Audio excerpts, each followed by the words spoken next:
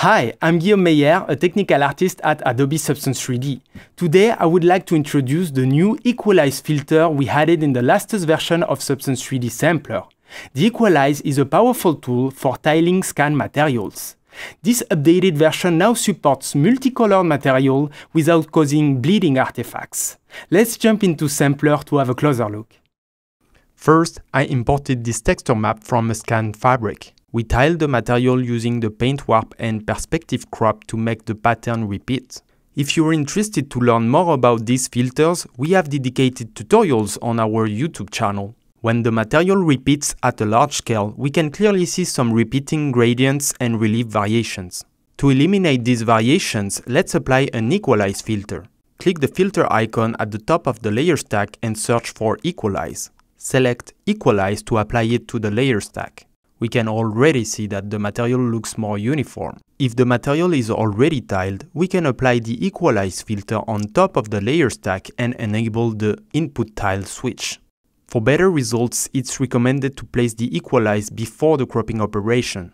The radius parameter sets the overall intensity of the equalized applied on all the channels. Higher values allow larger variations to appear in the material. Lower values preserve only small detail variations, resulting in a very uniform material. The goal is to find an in-between value that removes large variations while keeping medium features and fine details. For this material, a radius of 16 could work well. If we set the radius lower, we start to notice color bleeding between black and yellow areas. Color bleeding can occur on any multicolor material. The color bleeding parameter prevents distinct colors from blending and only affects the base color. Higher values lets most of the colors blend together. Intermediate values help separate visually distinct colors. Lower values separate even similar colors.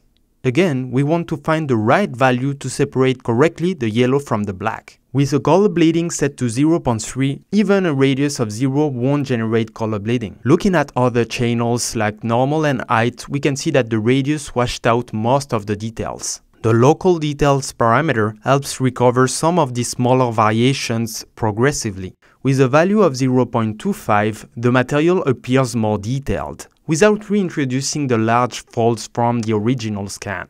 If we need to adjust the equalize parameters for a specific channel, we can open the corresponding channel group and click on Override Common Parameters.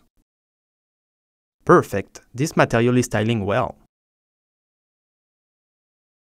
Now let's look at a more challenging example with this pen deck jacquard with flowers. When we apply the equalize filter to this jacquard fabric, we immediately notice color bleeding.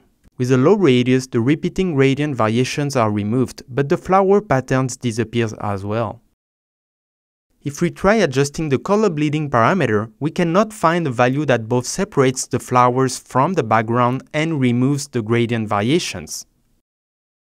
In this case, the shades of blue in the flower and the background are too similar to be separated. Let's reset color bleeding to 1 and open the base color section. The split color from channel dropdown offers an advanced way to separate colors and reduce color bleeding. From the list, we can choose any channel we want to quantize in order to extract a separation mask. Here, we want to extract the mask from the base color. Let's enable Show Mask Helper to visualize the separation mask. The color amount parameter sets the amount of colors to separate.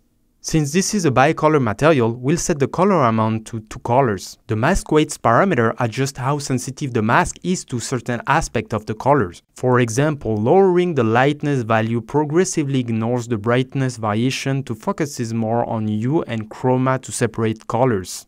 The mask smoothness parameter controls how precise or soft the mask is.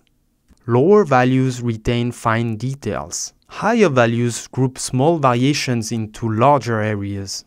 Now let's disable Show Mask Helper to see the result.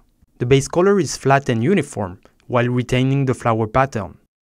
Okay, let's examine the height channel. It looks flat and uniform, but the flower pattern should have a slight emboss. We can use the split color from channel to equalize the height separately from the background and the flowers. Again, we will use the base color to extract the separation mask.